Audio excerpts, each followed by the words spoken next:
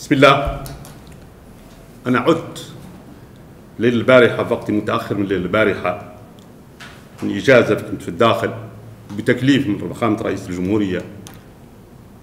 إياكم عودوا أنا وزملائي في وزارة الصحة وخصوصا المتخصصين في الطب الشرعي تحت إمرة الادعاء العام وتحت سلطته فيما يتعلق بأمر أصدره الادعاء العام بتحقيق طب بتحقيق طبي للطب الشرعي والتشريح فيما يتعلق بوفاة المغفور له بان امي والجبريل واللشين الصوفي واللشين علما. تقبله الله مع المتقين. وبمناسبة تعزية لكم أفراد العائلة وللشعب الموريتاني كله وفاة هذا الفقيد اللي راجي من عند الله تبارك وتعالى انه يخلف له شبابه بالجنة واعلنهم إن شاء الله يلهم ذويه الصبر والسلوان.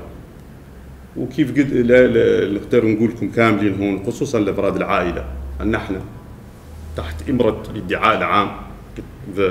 عندنا بعد استشارة بعض الشخصيات المرجعية في القطاع بعد تعبئة كافة المتخصصين في الطب الشرعي والتشريح وثلاثة موجودين. لا يشتغلوا إن شاء الله تحت إمرة الادعاء العام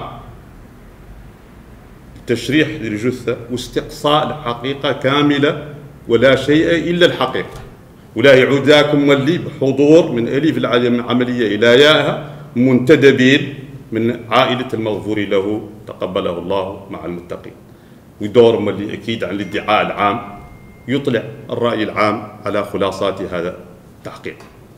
نختار نقول فخامة رئيس الجمهورية وهلكم أفراد العائلة على أنه حريص قدم التعزية لكم على أنه حريص على دولة على العدل والحق.